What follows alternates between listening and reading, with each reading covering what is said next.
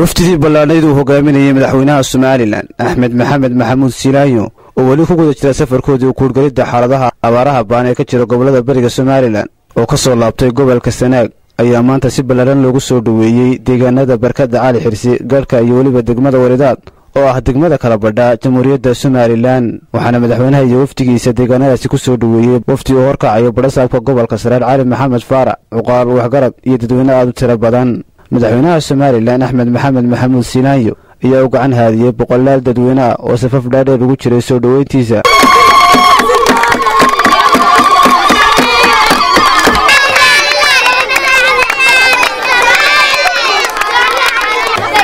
waxaana madaxweynaha iyo wafdigiisa loo soo gelbiyey hoteel weyn oo orodyahanka reer somalilan ee jaamac maxamuud aadan jaamac karaaciin ka hirgeliyey degmada waridaad ugu horreyn waxaa madaxweynaha iyo ku soo dhoweeyey degmada waridaad maayirka degmadaasi odayaal waxgarad iyo badhasaabka gobolka saraar kuwaasoo madaxweynaha ku bogaadiyey safarka dheer ee uu kuurgelayo bulshadiisa tabaalaysan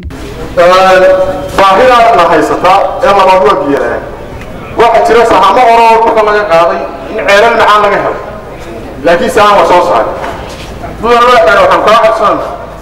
inaad riyaga hore loo baahay sahanka laga qaaday aad riig macaan noo qodo mudane madaxweyne waana laagtaalka sida aad dalka iyo dadka u danaynaysa ee aad yacniga ugu heegan tahay ummadaada ee meel kasta oo ay wax ka jiraan aad u soo taabanayso waxaan ku leenahay mudane madaxweyne jasakallah khayr ilaahay kaa tusan waxaan soo dhawaynaynaa waan salaamaynaa madaxweynaha jamhuuriyadda soomaaliya axmed maxamed maxamuud sinaan iyo waftigiisa ballaaran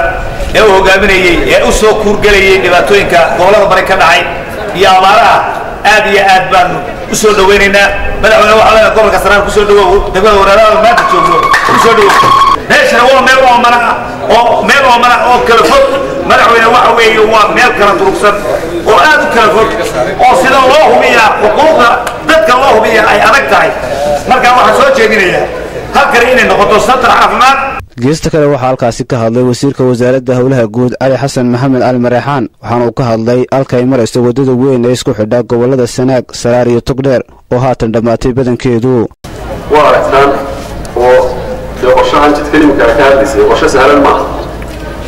xagga maymika waxaanu kaga soo baxnay halkan dhoweeda ka shishaysa bakida calaxis halkanna wuxuu ayay sii maraysa laamigana de waa kan magaalada qarkeeda taagan marka waa mashruuca ugu badan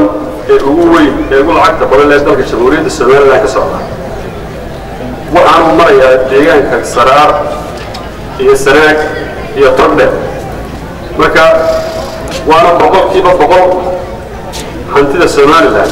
ayuu ku baxaya ugu dambayntiina madaxweynaha somalilan oo la hadlay bulshada ku nool degmada waridaad ayaa uga mahadnaqay soo dhoweynta ay u sameeyeen isaga iyo wafdigiisa. Sidoo kale madaxweynuhu waxa uu ku xog warramay ujeeddada safarkiisa dheer ee uu ku marayo gobollada beriga somalilan. Aad iyo aad baan u faxsanahay sida fiican noo soo dhaweyseen waxaa weeye sida sida caadada idiin ahayd aad iyo aad u fiican oo wanaagsan weeye waan idinka mahad celinaynaa waxaanu dalka u maraynaa oo socdaa inaan xogaa noqono xaaladdiisa uu mar walba ku sugan yahay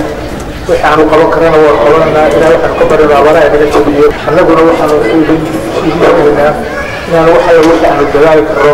iyo waxaanu samayn karno aanu samayno waana waxba la harin dadkayga dalkayga ana kala harin waxaanu dalka u maraynaa u soconnaa waa inaanu xaaladooda ogaano dhegaysanno baahiyooda waxaanu qaban karna aanu qabanno wixilaaheedu la kaashanana ilaa aad iyo aad baan ugu mahadsanay inoo idin dhawaadno aad baan u faraxsanay sida fiican noo soo dhaweyseen salebaan cilmi siciid salebaan kiiko wararka fogaan aragga xorta star t v degmada waridaad gobolka saraar